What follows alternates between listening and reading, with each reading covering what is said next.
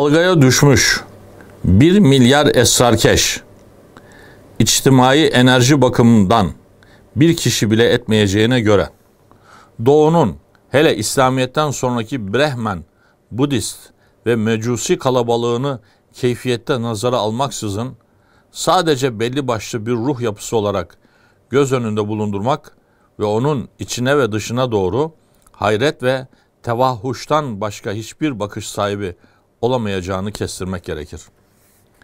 Böylece kainat boyu bir aksiyona yataklık etmek bakımından doğunun asli ve galip rengi Adem peygamberden beri gelen Allah Resulleri ve nihayet bütün zaman ve mekanın sahibiyle İslamiyet'te gerçekleşince İslamiyet'in temsil kadrosunda zaafa uğramasını ve nefsinden şüpheye düşmesini de son zamanlarda doğunun kendisine en nazik bakışı olarak ele almak borcunda oluruz.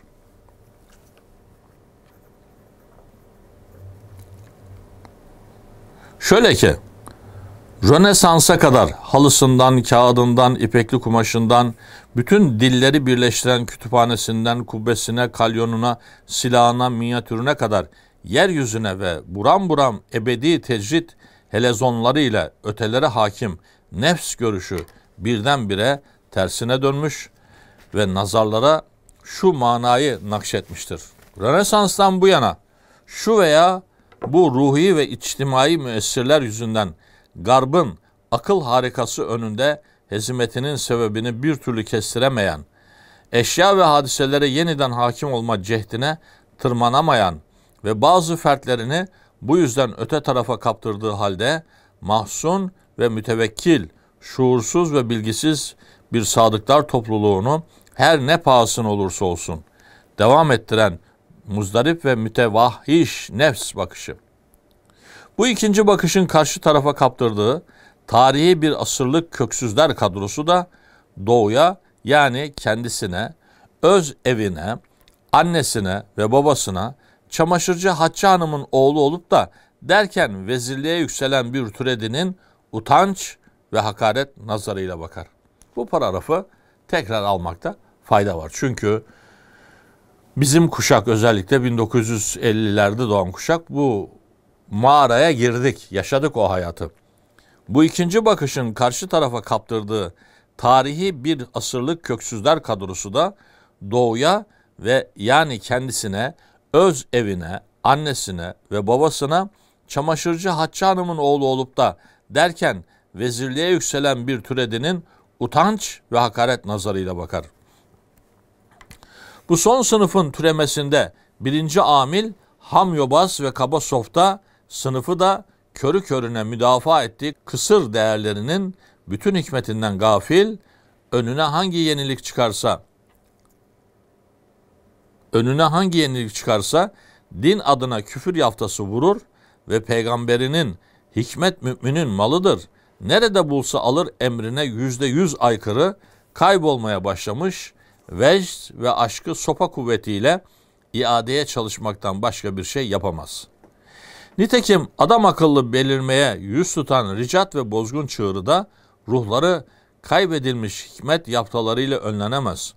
Bunlardan burnu halkalı, batı esiri yenilik maymunu, doğuya örümcek kafalıların yatağı, geri adam tarlası diye bakarken sözde dindar da ben bunlardan hiçbiri değilim gibi bir protesto tavrı içinde fakat ne olduğundan gafil, sadece ölgün ve yılgın, içte hırçın ve yalçın, baskı altında gizli bir nefs şüphesini ihdar etmekten kaçınamaz. Bir tarafta Hamyobaz ve Kaba Softa, öbür tarafta ondan daha ham inkar yobazı ve daha kaba taklit softası. İkisi arasında boynu bükük, dilsiz ve iktidarsız halk kitleleri, maddi ve manevi garp tosya toslayışlarına karşı doğunun düştüğü küçüklük ukdesini ve mahkum nefs görüşünü temsil ederler. Ve bu hal birkaç asırdır derinleşe derinleşe hemen bütün İslam alemini kaplayıcı bir ruh halinde günümüze kadar gelir. Bir küçüklük ve yetersizlik ukdesi ki batı hevlası karşısında öz nefsindeki gerçeklik ve üstünlüğü bir daha tam bir madde ve ruh imtihanına tabi tutulmaktan alıkoymakta, bir daha kendi kendisini kışır ezberciliği üstünde tefsire davranmayı imkansız kılmaktadır. İşte doğunun doğuya bakışındaki zaviyelerin en öldürücüsü. Şu anda doğu İslam'dan başka bütün topluluklarıyla kendisini radyo ve frijider kullanan sirk hayvanları yerinde göreceğine bu görüşü de temsilden aciz ve sadece refleks halinde bir mahkumluk şuuru belirtirken İslam kadrosu içinde de ruhuna tıkaç sokulmuş bir ihtibasın bakışını yaşamaktadır. Batı'nın Haçlı seferlerinden namütenahi defa öldürücü olan ve onun usta parmaklarıyla ruhumuza kakılmış bulunan bu sefil küçüklük ukdesi yüzünden birkaç asırdır hususiyle yüz yıldır Şark'ta bütün İslam aleminde peydahlanan satı inkılapçıları, zübbe ve papağan, dış yüz cambazları şarkın kendi kendisine, garbın şarka bakışından da daha hakaretli gözlerle bakışını temsil eder. Ve bu hal her an biraz daha azgın, devam ede ede nihayet bugünkü zirve noktasına varır. Doğuya inanalım. Hiçbir coğrafya taassubuna düşmeden ve davamızın bütün yeryüzünü ebedi hayat madeniyle kaplayıcı manasını mekana esir etmeden onun ilk mekanı olan doğuya sırf antitezimize karşı tutulacak bir mevzu kıymeti olarak inanalım. Her şey doğudan geldi. Her şey, her şey yani ruhumuz. Doğu insanın yağmur suyu kadar saf ve aydınlık olduğu çağlarda yürekleri ve kafaları dört yaşam madde hendesesi körletmezden evvel ruhumuzun ilk ve büyük marifetlerine sahne olan vatan. Asıl vatandan yere düşünce onu bulduk. İlahi beyana göre insan tohumu Adem peygamber doğu planında bir yere ayağını bastı. Bütün nevilerin kurtarıcısı Nuh peygamber gemisini orada bir noktaya oturttu. Resuller atası Hazreti İbrahim doğunun maddi ve manevi çerçevesi üzerinde ateşi gül bahçesine çevirdi. Büyücüleri büyüleyen Musa, Resul, ümmetine vaat edilen toprağı orada aradı. Meleklerden merhametli Hazreti İsa, ölüleri dirilten nefesini batı istikametinde doğudan üfledi. Ve ve nihayet Allah'ın sevgilisi ve alemlerin yaratılış hikmeti baş Resul Hz. Muhammed sallallahu aleyhi ve sellem doğunun bir kenarında bir nefhada kum tanelerin içine mermer kubbeler yerleştirdi. Davanın inananlar için bütün bunlara inanmayı, inanmayanlar için de inanmamayı isteyecek noktasına henüz uzağız. Davanın şimdi o noktasındayız ki nasıl Allah'a inanmayan bir insan hiç olmazsa Allah'a inanan başka insanlar bulunduğuna inanmayı mecbursa ruhun bütün binasını da o binayı ister sağlam ister çürük bilsin yalnız doğunun temelleri üstünde görmek ve tanımak borcundadır. Evet evet her şey her şey yani ruhumuz bu şeyi kıymetli bilen içinde bilmeyen içinde doğudan geldi. Kudüs orada. Mekke orada. Kabe orada. Ne kadar insan yüzü varsa hepsinin birden yöneleceği istikamet sırrı orada. Yeryüzü ve bütün insanlık tek bir vahid olduğuna göre doğu ile batı arasında hiçbir sınır yobazlığına düşmeyeceğimizi baştan beri tekrarlamaktayız. Doğuyu batıya nispetle sadece belli başlı ruh ve kafa şartlarına ilişkin bir vaka kabul ettikten ve onun hakim ve hakiki rengini de İslamlığa bağladıktan sonra hemen belirtelim ki insanoğlunda maddenin ötesini kurcalama ve ötelerin rüyasını yaşama cehdi, mucizeler bahçesinin renk ve ışık yüklü ufkunuz yalnız doğuda buldu. Ruh, mucize, masal, büyü, şiir ve ötelerin, giriftlerin, sarmaş dolaşların, bilmecelerin varılmazların ilmi ve ruhu, mizacı ve şahsiyeti bütün hak ve batıl kutuplarıyla doğudadır. Yine belirtelim ki ilk ve derin insan örneğine hayat veren ihtişam ve azamet kaynağı doğunun ihtişam ve azametine eş bir zaafı oldu. Bu zaaf onda Aşil'in topuğundaki nokta gibi ölüm okunu kendi üzerine cezbedici bir hususilik yaşattı ve okun ucu işte bu topağa gömülüp doğuyu boylu boyuna yere serdi.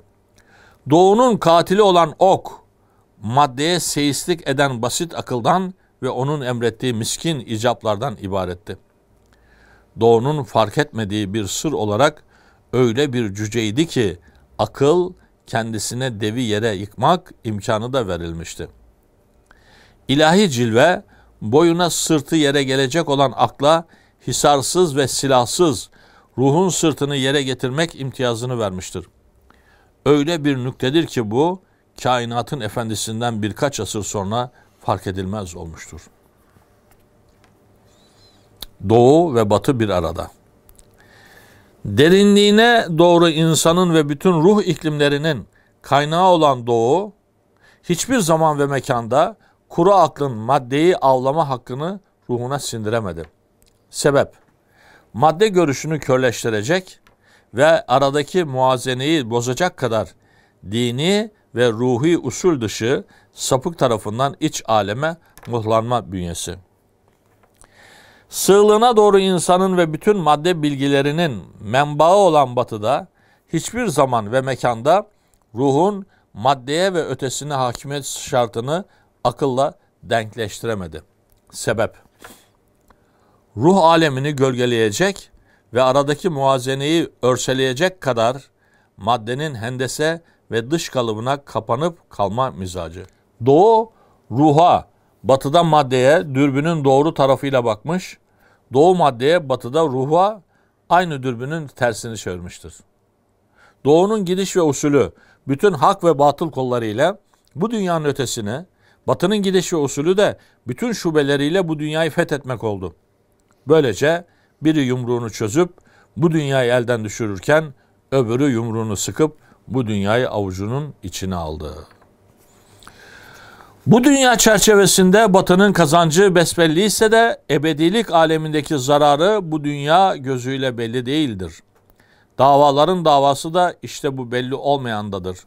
Öyle ki besbelli bir dış kazanç derinin yalnız üstünü gören gözlere belirsiz bir iç zararı feda edilebilir bir şey gibi gösterdi. İki ayrı hedef, iki ayrı usul, iki seciye halinde bütün tarih ve coğrafya hususilikleriyle sadece mücerret cins ismi planında iki ayrı alem yaşadı.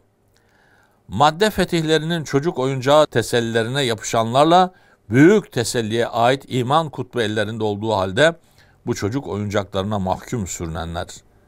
İşte biri ve işte öbürü. Doğuda müsbet ve menfi örneklerine ve kendi iç ve dış dost ve düşmanına doğru herhangi bir idrak, teftiş ve murakabe mizacı mayalandırılamadı. Batı sahası ise erdiği küçük marifetlerin gururu içinde mahkumunun hakim tarafını görebilecek ve o yüzden kendi eksikliğine dikkat edebilecek. Bir nefs muhasebesine ta makine saltanatının kendi kendisine müthiş bir kifayetsizlik arz edeceği ve büyük hafakanlar doğuracağı 20. asra kadar yanaşamadı. Zaman istediği kadar mekan kıymetinin dışında ve ondan müstakil bir hadise olsun, onu mekan değişiklikleri ve nispetleri dışında elde edemeyeceğimize göre mekana hakim görünen 24 saatlik fani çerçevede zamana da hakim görünecektir. Nitekim Batı fethettiği mekan zemini üzerinde topyekün hayata hakim görünmenin açık göz imtiyazına erdi. Bu yüzden de başlangıçta zaman aleminin sanatkarı doğu sonunda mekan dünyasının zanaatçısı batıya esir düştü. Dava, hesap ve kitabını bilmeyen ve bir madde kaygısına malik olmayan konak sahibinin eşya tasarrufunda açık göz uşağına nihayet esir düşmesi tarzındaki masallara uygundur. Doğu bütün peygamberleri, velileri ve sanatkarlarıyla maddeye tahakküm oyununun miskin manivelasına kurban, muazzam bir tiyatro dekoru gibi sahnenin altına inerken Batı, Efladun'da ses verip Bergson'da fısıltısını bulan mağlup ruhçuluğu bir tarafa, Aristo'da gürleyip şoförlere kadar nakaratı yayılan müsbet ve riyazi kafanın muhteşem kadro perdesi halinde sahne üstüne çıkmanın kolayını buldu ve bir daha indirilemez oldu. Doğu ile Batı arasında siyaset, askerlik, felsefe, ilim, fen, sanat, iktisat her planda olup bitenler Doğu'nun kaybettiğimiz gibi eşya ve hadiseleri derinliğine doğru, Batı'nın da sığlığına doğru tefsir etmesinden doğan hazin bir usul ve bünye farkından başka hiçbir müessire dayanamaz. Biri doğu derinliğine iner ve sığlıkta kaybolurken sığlığa serpili bütün dünyayı ihmal etmek gibi hayati ve esasi bir yanlışa sürüklendi. Ve öbürü batı sığlığına yayıla yayıla derinlikler içindeki köksüzlük ve temelsizliğin birdenbire patlak vereceği 20. asırda felaketine bir zafer geçidi edasıyla adım adım yaklaştı. Ve böylece birinin hakkı öbüründe, öbürününki diğerinde kaldı ve ulvi ahenk hiçbir tarafta büyük murakabe ve tefahhusa vardırılamadı. Fakat Batı kuru akıl ve mağrur ilim şirretliğini daima muhafaza etti. Fakat Batı kuru akıl ve mağrur ilim şirretliğini daima muhafaza etti. Netice şudur ki, bugün Batı dünyası haksızlığını hak diye gösteren hünerli bir göz bağcı. Doğu alemi de bu göz bağcıya mahkum ve ana hazinesinin anahtarını ceketinin aslarında kaybetmiş bir sarsaktan başka bir şey değil. Burayı alalım tekrar değil mi? Enfes bir tespit. Netice şudur ki, bugün Batı dünyası haksızlığını hak diye gösteren hünerli bir göz bağcı, Doğu alemi de bu göz bağcıya mahkum ve ana hazinesinin anahtarını ceketinin aslarında kaybetmiş bir sarsaktan başka bir şey değil. Batıyı anlamak. evet.